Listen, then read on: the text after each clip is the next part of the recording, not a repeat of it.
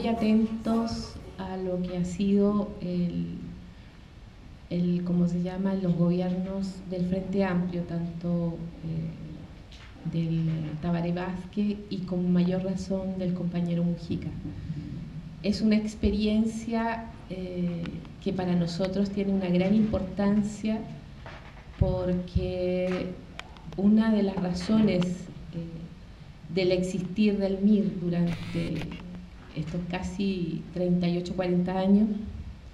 es eh, llegar eh, al gobierno y construir un Estado distinto donde efectivamente se haga efectivo la vida digna, la igualdad, la fraternidad y el socialismo. Este seminario nosotros eh, lo iniciamos hace 12 años atrás como momento de reflexión por la entrega de las vidas de muchos jóvenes estudiantes en la lucha antidictatorial. Y entre ellos muchos jóvenes de nuestro partido que eh, tuvieron la labor de reconstruir el movimiento estudiantil entre los años 80 y los 90. Eh, otros jóvenes desde el 73 al 80 tuvieron la labor de seguir resistiendo a la dictadura para que esta idea de la conquista del socialismo no muriera ni pereciera en las cárceles ni en la desaparición de nuestros compañeros. Y este momento de reflexión ha sido eh, predominante el sentido de descubrir los mecanismos de un proyecto educacional para América Latina que comprenda el desarrollo eh, sustentable eh, y, eh, se llama?, de, una, de un proyecto de economía social que nos lleve a la comprensión del socialismo y la necesidad de la sociabilidad, la sociabilidad de la socialización de la economía, perdón, a través de un proyecto educacional a, pelear y a conquistar en América Latina para hacer efectivo nuestra segunda independencia. Nosotros partimos de la base como premisa de que hubo una primera fase de independencia que fue trunca, que eh, hubo una reconquista por parte del dominio europeo, ya no solo español, sino también inglés, eh, de nuestro territorio que eh, nos devolvió el carácter de colonia con algún nivel de eh, protagonismo del, de nosotros como latinoamericanos, pero que no comprendió una verdadera independencia como la habían pensado los padres de la patria. O sea, hablo de Bolívar, hablo de San Martín, O'Higgins, Artigas, Sucre, etc. Y esos proyectos quedaron truncos y eh, la experiencia de la izquierda latinoamericana siempre se hizo a este proceso de segunda independencia. Y nosotros pensamos, después de los duros 90, que esto pasa por conquistar las juventudes latinoamericanas a través de un proyecto educativo que contemple el derecho a la segunda independencia y a nuestra liberación. Por eso es que ha sido casi reiterativo la discusión sobre, qué tipo de educación, qué tipo de proyecto educativo eh, es necesario para el continente. Y sobre todo para Chile cuando nosotros tenemos una educación que es vergonzosa, muy parecida a la norteamericana, o sea, toda privatizada, eh, y que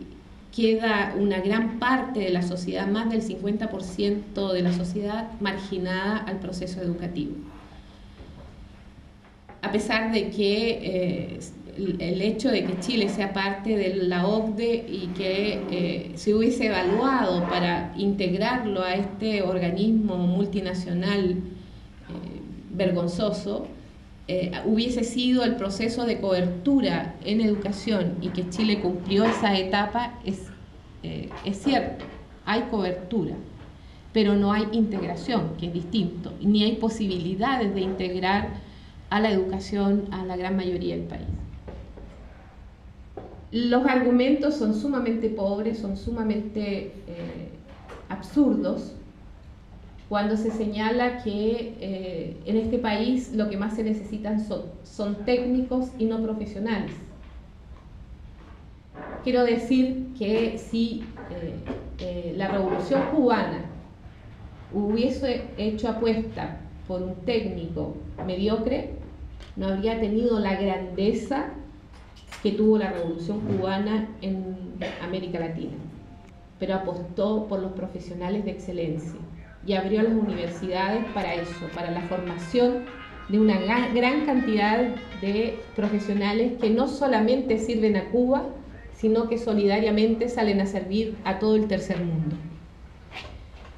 Que los puestos de trabajo son escasos, por lo tanto no necesitamos tanto profesional. Falso. Lo que no hay es una política y una eh, eh, de desarrollo económico que permita efectivamente el desarrollo económico del país, donde sí se van a necesitar eh, todo tipo de profesional integrado a la economía. Por lo tanto, eh, para nosotros es eh, fundamental, después de toda la movilización y que fue mayoritaria y muy grande el año pasado, donde se exigía educación de calidad y eh, gratuita y en manos del Estado, y, como garantía eh, de integración de la, de la, mayoría de la sociedad o de, los jóvenes a la educación, que lamentablemente eh, no se pudo concretizar. Mm, todo queda en manos del Parlamento y el Parlamento nosotros sabemos que aunque haya mayoría de la concertación, en algunas instancias como el Senado, eh, no eh, prosperan por el gran lucro que significa el tema de la educación privada en Chile, donde desde la UDI hasta el Partido Comunista tienen intereses. Y lo decimos así con, eh, con toda la responsabilidad que nos cabe esta, esta afirmación. Por lo tanto, era muy difícil que el movimiento estudiantil, aunque por lo transversal y grande que fue, hubiese podido lograr romper esta barrera en el Parlamento y eh, haber peleado una ley de educación gratuita y de calidad para todos. Nosotros agregamos integral como concepto. Pero bueno, estamos acá, el Centro de Estudios eh, Pedagógicos Patricio Sobarzo está compuesto por eh, pedagogos nuestros del MIR y ellos están haciendo todo un estudio con respecto a la presentación de un proyecto eh, de eh, educación para Chile y eh, les tocará exponer mayormente sobre esto. Nosotros termino acá diciendo de que Mauricio Maigret, Rafael y Eduardo Vergara y Paulina Aguirre, que son las figuras a las cuales nosotros les rendimos siempre homenaje con este seminario, engloban la caída de muchos jóvenes como ellos en la lucha por la eh, libertad, independencia y la democratización en el país, tareas aún pendientes y que siguen estando